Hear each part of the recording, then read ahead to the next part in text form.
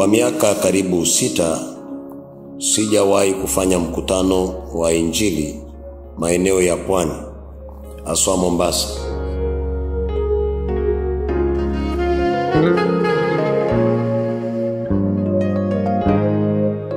Mkutano wa mwisho niliyofanya ni Alaskan, sehemu za Malindi. Kisha sijawahi fanya mkutano. Mwezi huu wa nne mwanangu uolewe na uowe hata kama walikulaani wachawi wapande magari waje washuhudie.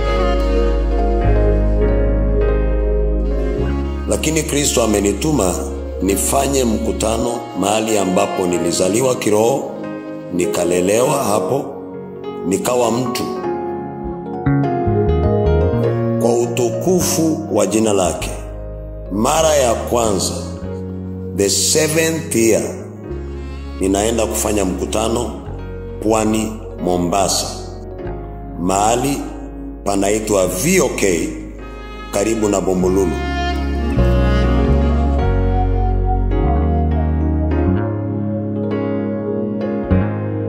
Mkutano huu utakuwa mkutano mkubwa zaidi, karibu zaidi ya mikutano yote ambayo tumewahi kufanya. upate nyota ya yesu kristo maisha yako yabadilishwe ghafla ghafla ghafla ghafla Shout yes!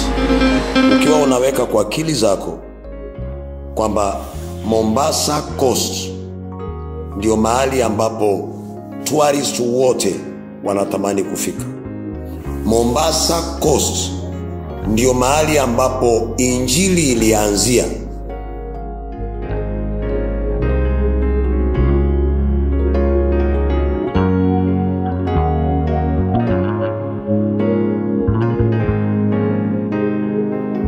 Safari hii iwe ni kipindi kizuri sana kwa mtu yeyote anayenisikia. ile roho aliyotupa kwako nitakamata hiyo roho itanionyesha mahali mchawi yuko Ikiwezekana, anza safari mapema. Kwa neema ya Mungu tumepata uwanja mkubwa kuliko Kasarani.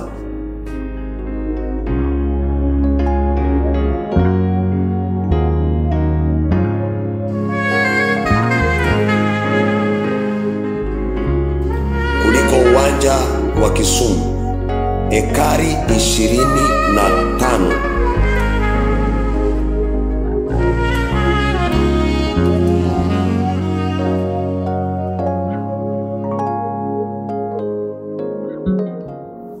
Friday, Saturday and Sunday itakuwa ni mkutano haujawahi kufanyika kwenye taifa la Kenya. Anayeweza kufika, unayenitazama, hii ndio pwani unayosikia.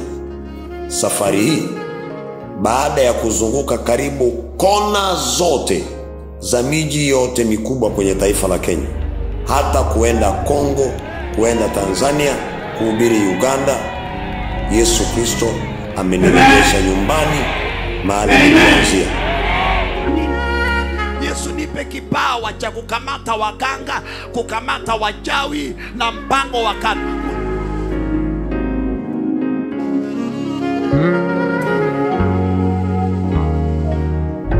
Ninaamini atafanya miujiza na ishara mikubwa kuliko yale ambayo tumewaiona. Ataponya watu, ataokoa kwa kiwango kikubwa. no wastage of time hautapoteza wakati Imesababisha wiki hii hatuna ibada New Life Mavueni, hakuna ibada hata moja. Ni maombi, kufunga na kuomba na kujiandaa kwa ajili ya mkutano mkubwa zaidi tumewahi kufanya. by himself by himself he will do it alone jesus Mkutano utaanza asubuhi mapema, asubuhi mapema sana. Tumewahi kuenda Nakuru, watu waliingia Tuesday, wengine waliponea hapo Tuesday. Tulienda Eldoret, watu waliingia Wednesday, walianza kuponea huko. Kisumu vile vile, Kasarani hadi mlango wa Kasarani ukavunjwa. nakumbuka polisi akiniambia pasta tupe ruhusa tufunge mlango. Sababu wale walio nje ni wengi kuliko wale ambao wameingia.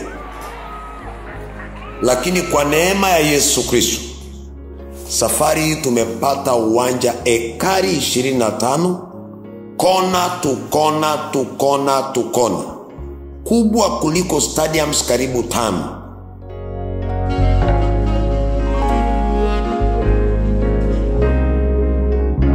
Mungu akuponye jinsi ambavyo amewaponya hawa mwingine ndio yule ameponea kule kule wako wengi kule mwingine kule mwingine kule kwa akuinue na akuponye ulemavu kuliko alivyoponya watu kisumu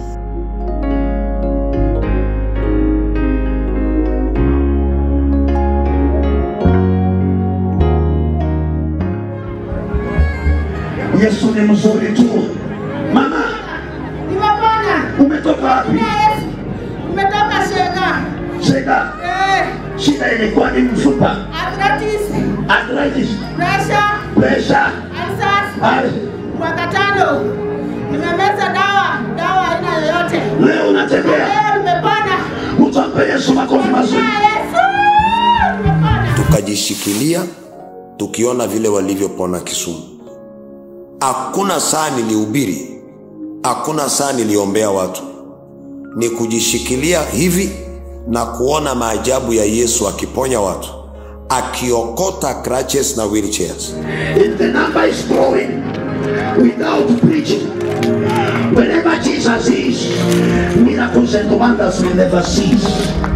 yesu akuponya yesu akukomboa akamate wachawi kuliko jinsi alivyowakamata na waganga sehemu za kisumu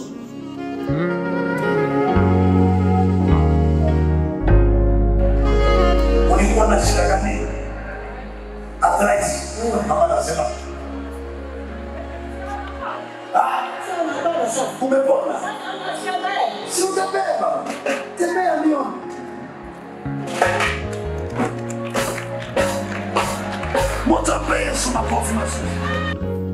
naamini hii ndio itakuwa mkutano mkubwa zaidi baada ya easter katika historia ya taifa hili.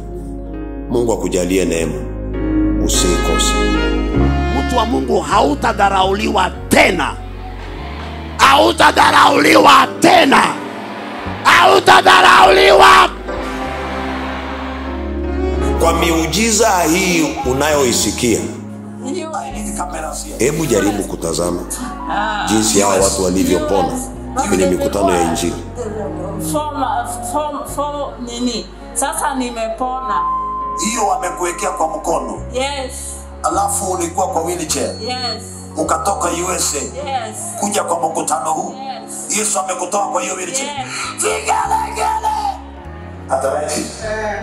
Umepona. Tembea mama, tembea. Tembea.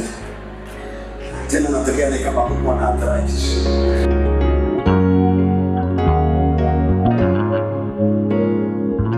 na mtu wa mungu baada ya kusikia na kuona haya sasa na wewe kuanzia leo jiandae anza safari ubuku hoteli ubuku nyumba ama uje uwanjani vile tulikuwa tukifanya.